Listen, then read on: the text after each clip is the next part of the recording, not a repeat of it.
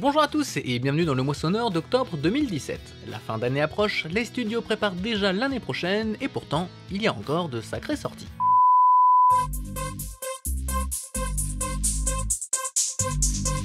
On reprend les bonnes habitudes ce mois-ci en commençant ce moissonneur par les nouveautés. Le mois d'octobre, on est tous occupés à jouer, les grosses licences inconnues sont donc restées au chaud et on a simplement appris l'existence de Hell Let Loose, de Hand of Fate 2 et de Warhammer Vermintide 2. Des jeux de niche mais qui vous feront plaisir si vous aimez le genre. Moins réjouissant, les éditeurs ont aussi décidé de faire un peu de ménage. Exit donc Lego Dimension qui rejoint le cimetière des jeux à figurines où il retrouva Disney Infinity et Skylander. Le même sort a été réservé à The Amazing Eternals qui n'a pas réussi à attirer assez de monde pendant sa bêta fermée. Il n'aura donc même pas le droit de sortir en version finale. Enfin, c'est le Kinect qui tire sa référence après 7 années à avoir tenté de nous faire bouger pour jouer à nos jeux préférés. Le concept n'a pas pris et pourtant l'outil est une réussite économique. Pour cela, ciao l'artiste.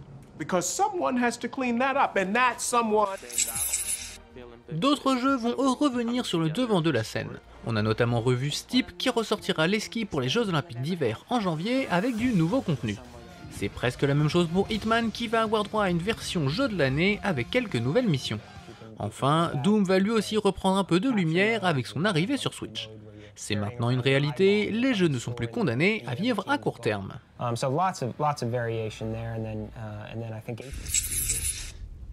Eux ne vivent pas encore, mais ils ont fait bonne figure ce mois-ci. J'ai spécifiquement à l'esprit Need for Speed Payback et Star Citizen qui avaient plutôt déçu jusque-là. Pour le jeu de course, EA semble s'être inspiré de la série Burnout et le résultat donne envie. Pour le jeu spatial, on a enfin vu des phases convaincantes avec pas mal de technologies bien avancées. Il n'est toujours pas question d'une sortie proche, mais on se dit que tout ce développement n'aura pas été pour rien. On aura au moins récupéré quelques avancées dans la gestion des animations par exemple. On aurait quand même aimé avoir des nouvelles du mode Squadron 42, il faudra repasser.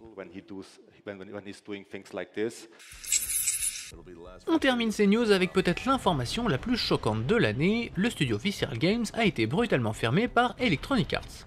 Ce qui rend cette information choquante, c'est le fait que le studio était sur le développement d'un grand jeu Star Wars en partenariat avec Emotive et que Electronic Arts avait renforcé les effectifs en début d'année. Avec cette fermeture, le projet de jeu solo Star Wars disparaît et renaîtra sous la forme d'un jeu à monde ouvert et en ligne. Le développement sera assuré par plusieurs studios à travers le monde, le tout dirigé par les centaines d'employés d'Iemotive. Et tout cela se fera maintenant sans Visceral Games.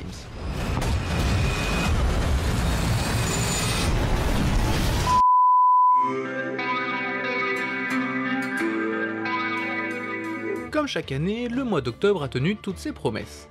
On a eu droit à beaucoup de grosses suites comme avec The Evil Within 2, South Park l'Anal du Destin, Wolfenstein 2 The New Colossus ou encore Call of Duty World War 2.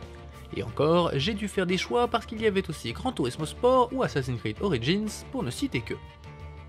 Au cinéma, ça a été plus calme entre les nouvelles aventures de Cendrillon, Thor Ragnarok, Geostorm ou encore Détroit. Ce mois-ci, notre coup de cœur jeu vidéo va à Super Mario Odyssey. Au milieu des énormes blockbusters très américains, le plus célèbre plombier de Nintendo arrive à proposer un jeu réussi à tous les étages. C'est fun, long en durée de vie, cela vous demandera de la maîtrise pour tout récupérer et ça arrive quand même à se réinventer. Un challenger très sérieux au titre de jeu de l'année. Au cinéma, notre cœur bat pour Kingsman le Cercle d'Or. Le comics revient au cinéma avec plus de budget, plus d'explosions et plus d'action.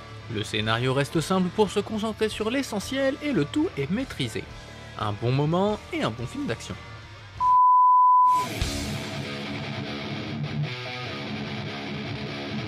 En 2013, GTA V avait annoncé 200 employés sur 5 ans pour réaliser son jeu, un record à l'époque. 4 ans après, tout le monde a largement dépassé ce chiffre, créant ce que l'on va appeler des hyper studios à plusieurs centaines voire plusieurs milliers d'employés. La question est donc la suivante, les hyper studios font-ils de meilleurs jeux? A première vue, on pourrait se dire que mettre plus de personnes au travail sur un jeu devrait conduire à un meilleur résultat. Dans les faits, les exemples d'Ubisoft ou d'Electronic Arts invitent à plus de prudence. Pour l'éditeur français, cela fait quelques années qu'il s'appuie sur son immense réseau de studios pour développer ses jeux. Sur Far Cry 4, ce sont plus de 4 studios et plusieurs milliers d'employés au travail. Le problème de cette démarche, c'est qu'en éclatant le travail, les développeurs se retrouvent à travailler sur des bouts de jeu sans avoir une vue d'ensemble satisfaisante. Il en sort des jeux denses et riches, mais souvent inégaux, et où on a l'impression d'avoir un puzzle en face de nous, plus qu'un jeu avec une même cohérence. Ubisoft a d'ailleurs rectifié le tir pour Assassin's Creed Origins en centralisant tout à Montréal, quitte à faire exploser le nombre d'employés dans ce seul studio. Electronic Arts semble prendre le chemin inverse avec la fermeture de Visceral Games en éclatant le projet d'un jeu Star Wars sur plusieurs petits studios. Ils ont pourtant à leur disposition l'énorme IA Motive qui a même avalé en début d'année les équipes de BioWare responsables de Mass Effect Andromeda. Le problème avec ces hyper studios, c'est qu'il est difficile de garder tout le monde impliqué de la même façon pour suivre la vision d'un créateur. Ces dernières années, on a notamment vu Ken Levine quitter Irrational Games pour revenir à des équipes indépendantes, un chemin aussi emprunté par Hideo Kojima ou Peter Molineux. Et plus proche de nous, on a appris que ces problématiques touchaient CD Projekt Red en plein développement de Cyberpunk 2077. Depuis The Witcher 3, les effectifs sont passés de 200 personnes à plus de 600 aujourd'hui pour normalement atteindre 800 l'année prochaine. Et ces dernières semaines, certains employés se sont plaints des conditions de travail, du rythme à tenir et du fait de ne pas toujours comprendre ce à quoi les gens travaillaient. Les dirigeants du studio ont répondu en disant que le studio doit travailler avec la même rigueur que lorsqu'ils étaient une petite vingtaine d'employés. Sauf que la communication n'est pas la même entre 20 personnes et entre plusieurs centaines. C'est le défi que devront relever ces hyper studios pour produire des jeux à la hauteur de leurs ambitions, et c'est un sacré défi tout de même. Sachant que dans le processus, il faudra réaliser des jeux au potentiel commercial fort, sous peine de vite mettre la clé sous la porte. Rien de facile donc, mais une situation forcément intéressante à observer dans les mois à venir.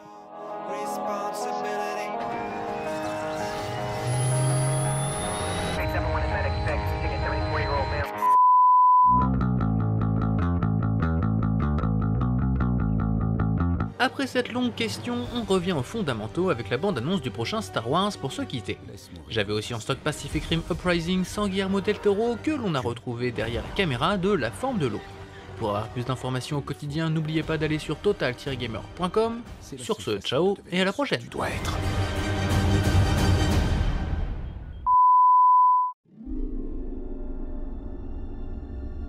Quand je t'ai trouvé,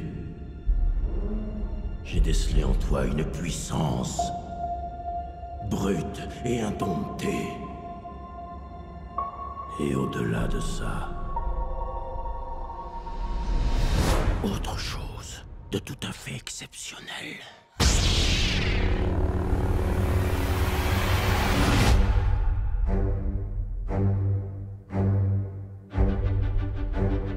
Quelque chose sommeillait en moi depuis toujours. Ça s'est réveillé. Et j'ai besoin d'aide.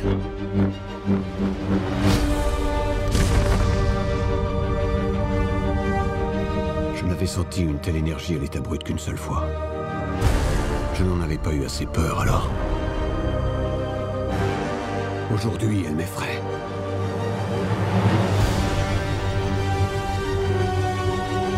Laisse mourir le passé. Tu-le S'il le faut. C'est la seule façon de devenir ce que tu dois être.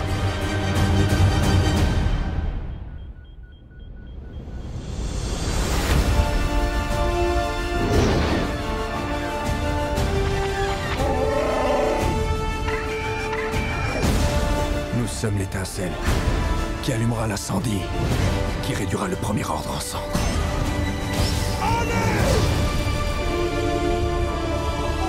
Ça ne se passera pas. Comme tu le crois.